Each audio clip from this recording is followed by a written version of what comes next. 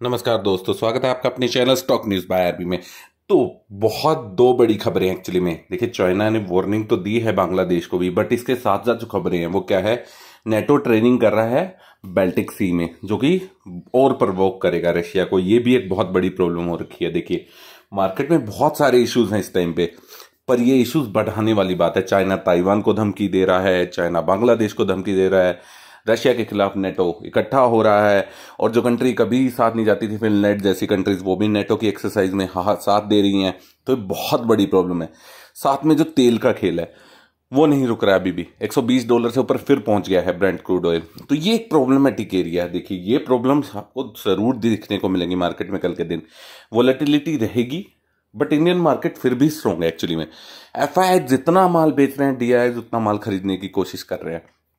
तो Indian market में retail जो इन्वेस्टर हैं, वो भी बहुत सपोर्ट कर रहे हैं। आप जैसे जितने भी हैं।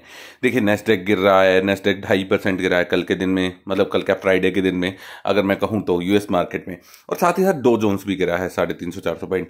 तो ये क्या संकेत करता है? ये हफ़्ता थोड़ा सा टफ होने वाला है मार्केट के लिए बट हाँ ये ध्यान रखिए कि पंद्रह हज़ार के लेवल्स जब तक ब्रीच नहीं करता है और वो करेगा भी नहीं सोलह भी नहीं ब्रीच करेगा एक्चुअली सही तो।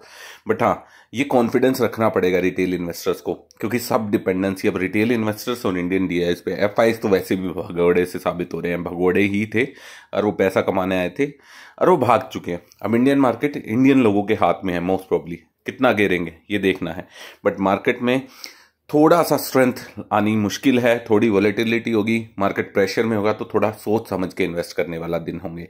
आने वाले कुछ दिन थोड़े टफ हो सकते हैं बट इंडियन मार्केट हमेशा की तरह स्ट्रॉन्ग खड़ा रहेगा।